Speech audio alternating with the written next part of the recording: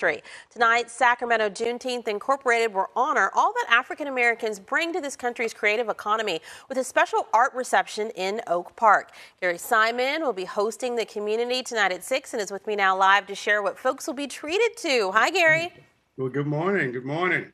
Good morning to you. Now, your group does something different every year to celebrate Black History Month. In 2022, you focused on helping African Americans lead better lives, bringing in chefs to show families how to cook healthier versions of some beloved soul food dishes. You also hosted a Martin Luther King Jr. essay contest. Why put the focus on art this year?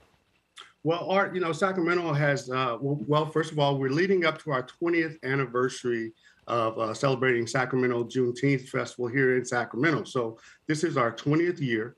So uh, leading up to this year's celebration, we wanted to definitely uh, highlight or continue to highlight the African American experience here, not only in Sacramento, but in, in, the United States.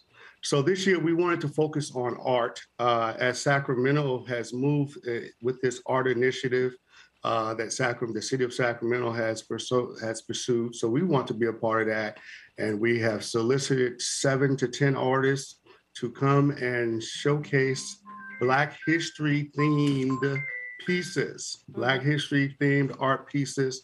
And they'll be there tonight. We're going to put our black chefs around them to create a reception type of atmosphere. Mm-hmm. And we just want to support the African American art community and, and not specifically African Americans, but the art community in itself.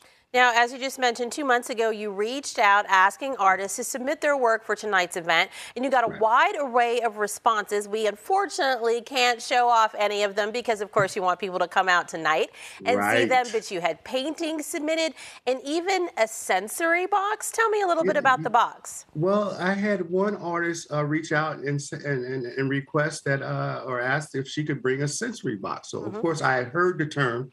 Uh, but uh, she informed me a little bit more. So sensory boxes for the kids, basically on that autism spectrum, uh, where you know there's a touch. I guess there's a touching component to it and a feeling component. So it's all you know stimulating their senses senses i guess so i have i don't have much detail on it but I, she did show me a nice picture of it and it, it, seems very interesting and it apparently is very uh, helpful for those uh, on that autism spectrum very cool as well that there's the whole array of what right. you know people are bringing forward as art, and this is a win-win mm-hmm. for the artists, right? Not only have they already been selected to be part of this reception, but you have a committee that will be picking a winner, and that artist will get a cash prize, and then they might be selling their works of art. Right. There is a silent auction component. And this is the other piece in which we are asking the community to come out and support these artists uh, by purchasing a piece or two.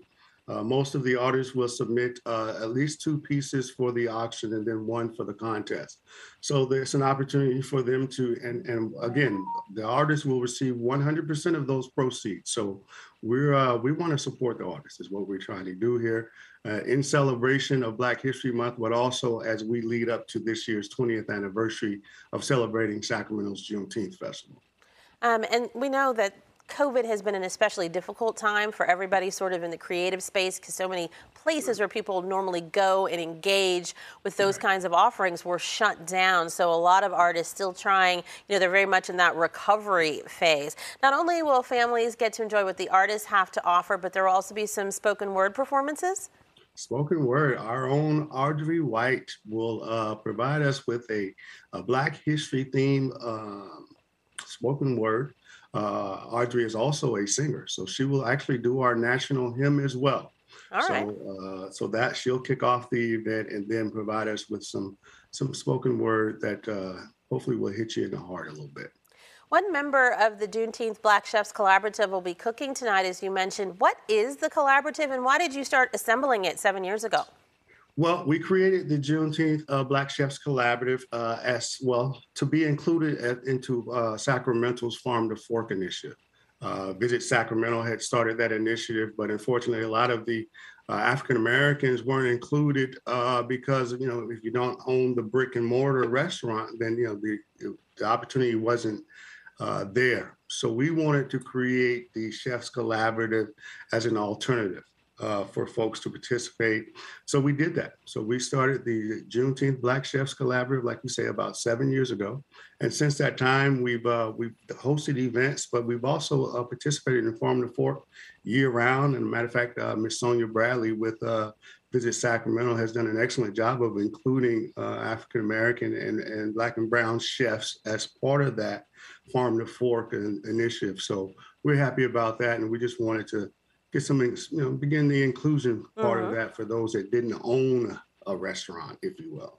We're almost out of time, but tonight's event at the Oak Park Community Center is free, so no excuses, everybody. What feeling, what understanding do you want someone to walk away with after they spend time with this art and these artists? Well, we want them to first of all get a, a, a direct view of uh, the the history, the Black history specifically, as well as to support our local artists. Uh, like I said, uh, Black History is is a year-round learning process. So we don't want to just celebrate during uh, Black History Month, but we want to also uh, recognize and support uh, folks that are uh, distributing this his, this art that we're doing these artists that are uh, supporting themselves mainly. So we want to just support the Black artists as well as uh, recognize the history. Alrighty, thank you so much for joining us today. It's tonight, folks, and it's free. And it's free.